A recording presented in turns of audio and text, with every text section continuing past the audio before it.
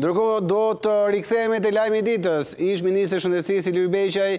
dhe dy bashkëpunëtorë të tij janë arrestuar mëngjesin e kësaj të enjte për shkak të abuzimeve me fondet. Po detajet ende nuk janë të plota, por për të mësuar më shumë lidhur me atë çfarë thuhet zyrtarisht dhe jo zyrtarisht, kam kolegun Eni Ferhati. Eni të përshëndes. Na trego pak më shumë lidhur me këtë dosje, mbi personat e arrestuar,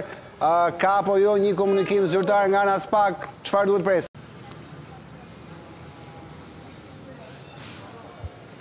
Përshëndetje, Thimi, në fakt komunikimi apo njoftimi zyrtar për këtë operacion të zhvilluar ditën e sotme nuk është ndarë ende me mediat për shkak se aktualisht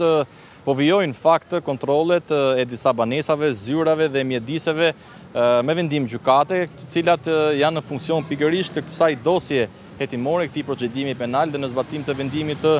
gjykatës së posaçme kundër korrupsionit dhe krimit të organizuar. E konkretisht, në fakt kemi arritur të mësojmë që bëhet fjalë për 7 masa sigurie që janë lëshuar nga gjyqtarja Rudina Palloj me kërkesë të prokurores së SPAK Elida Kaçkini, megjithëse në këtë dosje krahas prokurores Kaçkini, sipas informacioneve,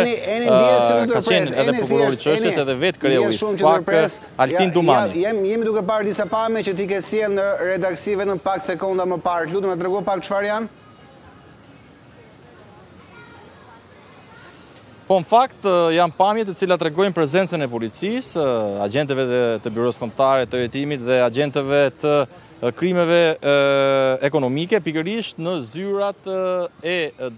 drejtorisë SASPAK, e cila merret me menaxhimin e donacioneve dhe fondeve të Bashkimit Europian, por edhe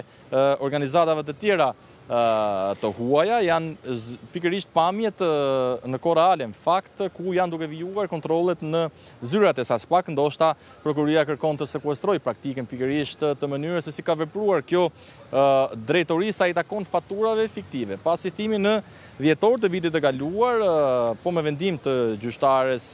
Rudina Palloj dhe Gjykatës së Posaçme dhe me kërkesë të prokurores Elida Kaçkini, u zhvilluan disa kontrolle në banesa dhe biznese Të tjera, ndërtorë dhe restorante të famshme apo të njohura në kryeqytet si ai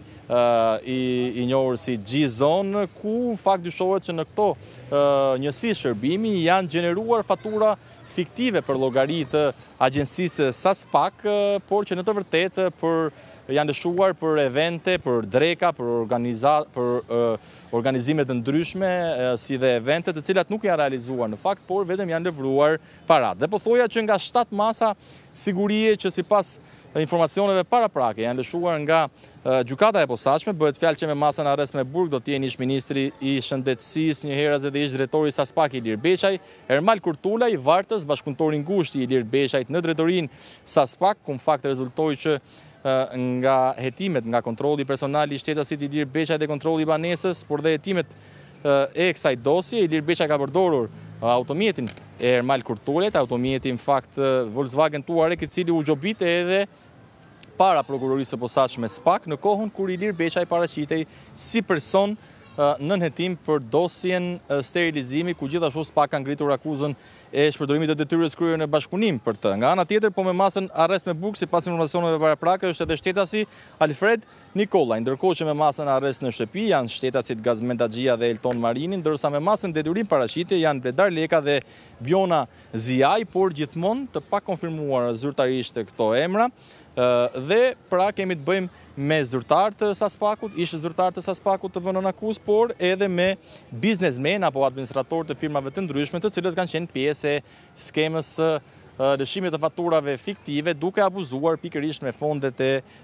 SASPAK. Nga ana tjetër kemi mësuar që ish-ministri i Shëndetësisë Ilir Beqaj pasi është dërguar fillimisht në policinë e Tiranës, atje ku i është komunikuar vendimi i gjykatës, pasi ndalimi apo arrestimi i tij është bërë në banesën e tij, mëngjesin e sotëm, më pas është transferuar në ambientet e bllokut të sigurisë në kryeqytet në pritje të daljes para Gjykatës së Posaçme, ku sipas dispozitave ligjore në fuqi, brenda shtatëdhjetë e dy orësh ai do të dalë para gjyqtares Rudina Palloj dhe prokurores Elida Kaçkini për t'iu komunikuar dhe për t'u verifikuar zbatimi i masës së sigurisë arrest me burg. Ok, Eni Ferati, shumë faleminderit për këtë raportim të parë. Besoj do kemi të tjera zhvillime nga spak Në minutat apo orët në vijim, ndjesë, lidhur me njoftimin zyrtar, kështu që jemi në pritje të asaj, menjëherë kërko linjën Eni Ferati. Faleminderit shumë. Ndërkohë